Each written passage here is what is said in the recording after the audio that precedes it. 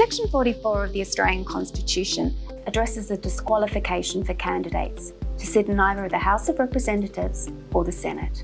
The AEC conducts elections based on the Commonwealth Electoral Act. These electoral laws do not provide the AEC with the power to disqualify candidates based on the Section 44 of the Constitution. It's also worth considering the practicalities of, of such a check. Currently, there is no comprehensive data source that would allow a timely or accurate check. And if you look at the election timetable itself, it would make it virtually impossible. You've got candidate nomination deadline happening one day. The very next day, candidates are declared, and then it's straight on to printing the ballot papers so that we can commence early voting according to the election timetable.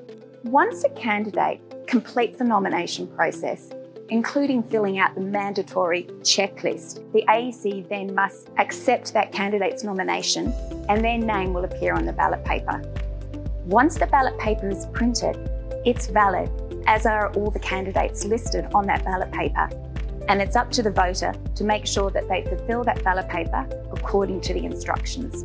If a candidate is elected and there is a question around their eligibility under Section 44 of the Constitution, it is only the Court of Disputed Returns after the election that can look into this matter.